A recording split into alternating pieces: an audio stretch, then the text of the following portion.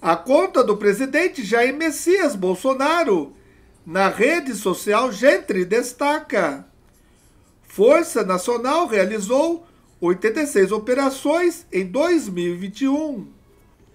Segundo o presidente da República, este é o maior número de missões desde que a tropa foi criada. Atualmente, 30 operações estão em andamento em todo o país. Em 2021, foram investidos mais de 40 milhões de reais na aquisição de equipamentos de segurança pública para entrega aos estados. Em contrapartida, a disponibilização de profissionais que atuam na força.